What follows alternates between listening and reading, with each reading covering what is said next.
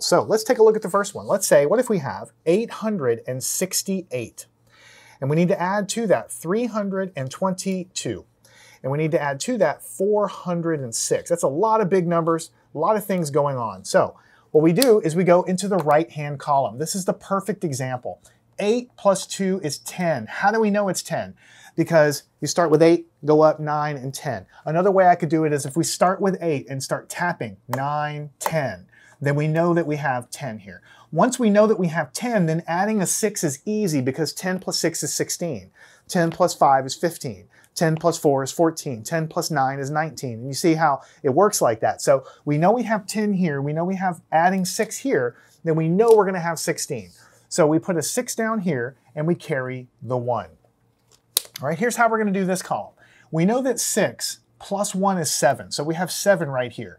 And we have a 2. So we go up from 7. 8, 9. And then the 0 does nothing. So all of this adds up to 9. So here we have 7, and then you go up 8, 9. So you can always use your fingers, but sometimes you can just tap the paper while you're adding to help you so you're not always having to use your fingers for every single one, especially when the numbers are small like this. So here's how we do it. Go 6, one more is 7, 8, 9. And then we have nothing here. So we just have a 9, and a 9 goes right here. All right, so let's try to do something similar here. 8 plus 3 more. We can go going from 8, 9, 10, 11. Three taps means 11. So we go up from 8, 9, 10, 11. We have 11 right here. 11 plus 4, you can go up from 11, 12, 13, 14, 15. So we land on 15. So we have a 15 here. So we put the 5 here and a 1 here, and the answer is 1,596. We're just going to do a lot of these problems so you can see how to handle. The reason I'm changing it a little bit is because if we use our fingers for every single addition when we're doing large problems like this, it actually slows you down. And I'm always here to tell you that you can always use your fingers. There's nothing wrong with that. I still use my fingers sometimes, honestly. But we don't have to do it for every problem. For instance, look here. We have a 3. Start with the 3. Plus 1 is 4. Plus 1 is 5. So we know that this column adds to 5. And we don't have to use our fingers for every one of these so that we can be a little faster. Now we have six. We have to go up three. Seven, then eight, then nine. So we have six plus three is nine. The zero does nothing. So we'll put a nine right here. All right, let's do the same thing here. Let's start with the eight. That's the biggest number. Eight plus two is 10. How do you know? Nine, 10. So this gives us 10. Once we have 10, adding 7 is easy. 10 plus 7 is 17. So we put a 7 and a 1. And if you forget that, just start with 10 and go up. 11, 12, 13, 14, 15, 16, 17. You land on 17. As we do more and more of these, you'll start to remember them and you'll start to get a little faster. All right?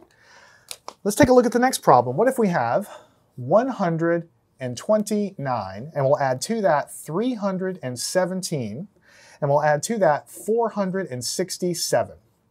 Now here we have 9 plus 7. Now here's where I'm going to start to use fingers because these are larger numbers. So 9 going up 7, 4, 10, 11, 12, 13, 14, 15, 16. So we have 16 here, right? 16. We have to go up 7 more. 17, 18, 19, 20, 21, 22, 23. So we landed on 23. So the 3 has to go down here and we carry a 2. Now we start with 1. I'm sorry, we start with 6. Go up 1 more is 7.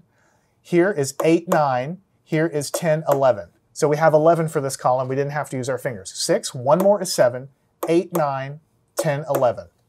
And we have an 11 here. So we put a 1 and we carry an, a 1 here. Let's do the same thing. Start with 4, go up 3 more, 5, 6, 7. Then we have 8, then we have 9. We have a 9 right here. And the answer is 913.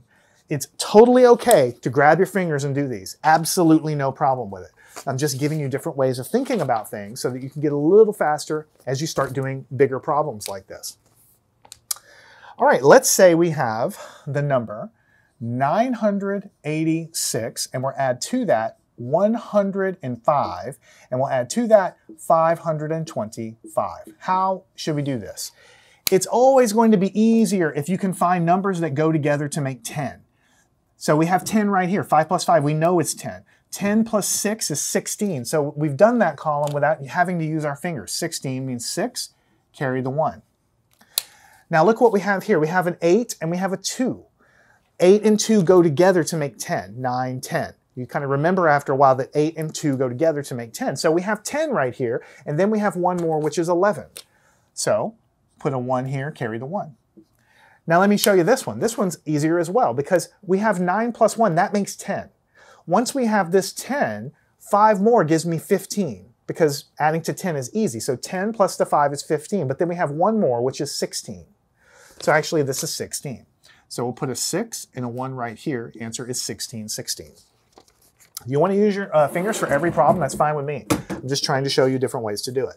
What if you have 132, and we'll add to that 195, and we'll add to that 118. Okay, start with the largest number. Now take a look at this. We can add 8 to 5. There's no problem with that. But look at what we have. We have an 8 and a 2, and we know that 8 and 2 make 10. 9, 10. 8 and 2 make 10. So if we add these and get 10, then adding 5 more is easy. It becomes 15. So we'll put the 5 here, carry the 1. We don't have to use our fingers for everything. Now let's look at the middle column. We have the 9 and the 1. They make 10. That makes it easy because 10 plus the 3 is 13. So we have 13 here. One more makes 14. So we'll put the 4 here and carry the 1. And then this last column is easy. 1, 2, 3, 4. The answer is 445. What if we have 803 and we'll add to that 623 and we'll add to that 186.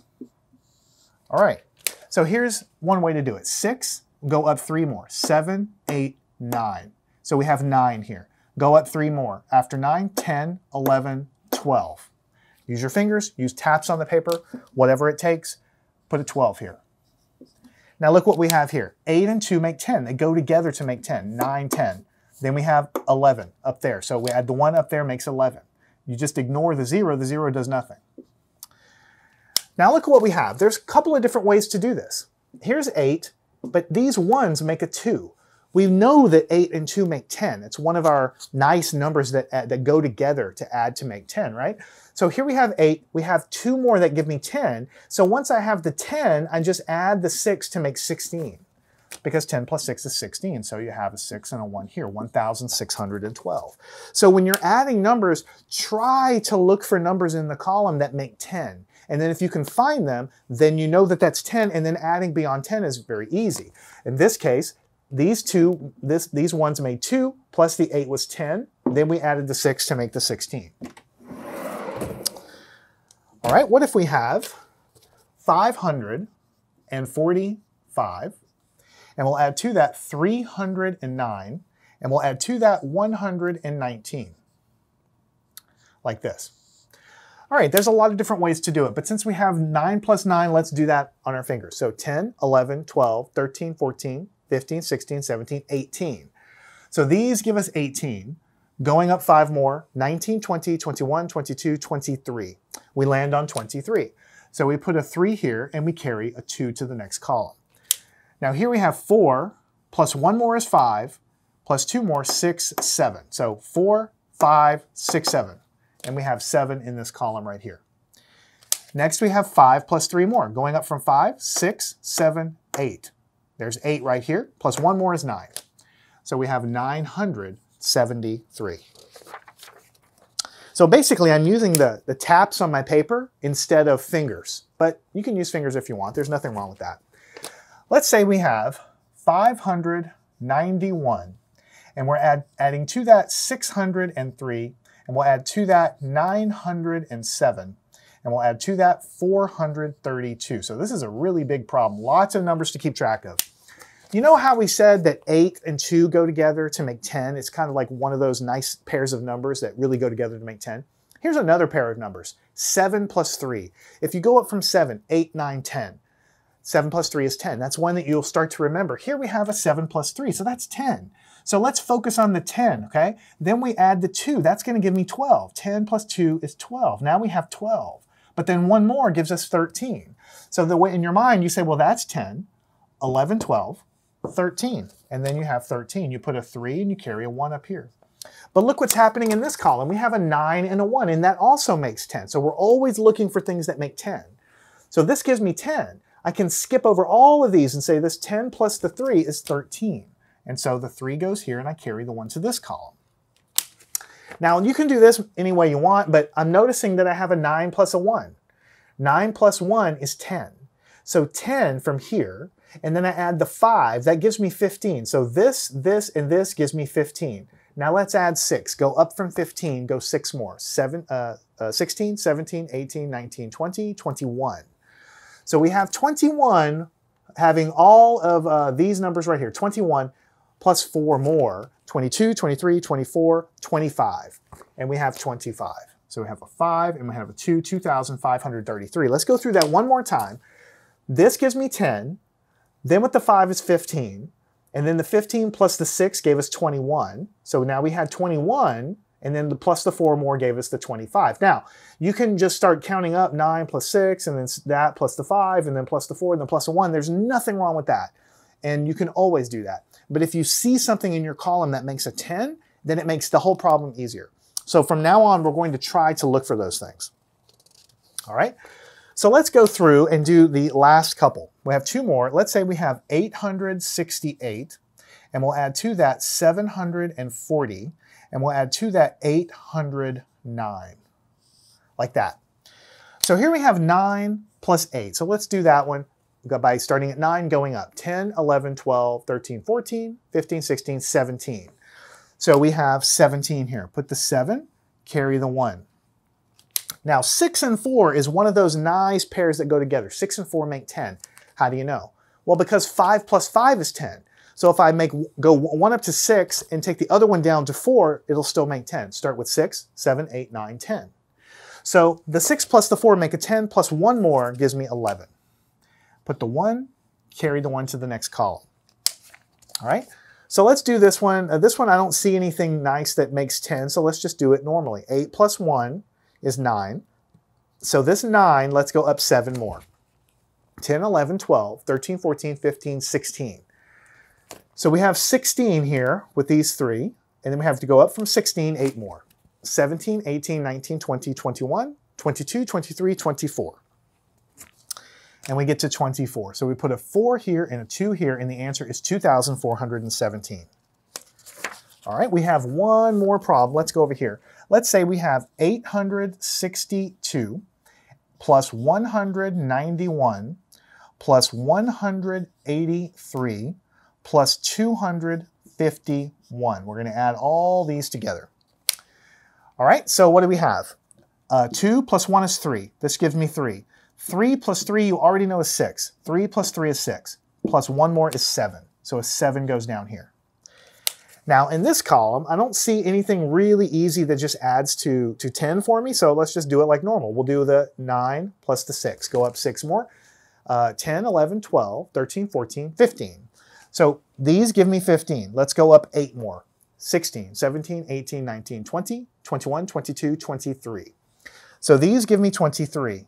Up from 23, let's go up five more. 24, 25, 26, 27, 28. I land on 28. So I put an 8 down here, and I have to carry a 2 to the next column.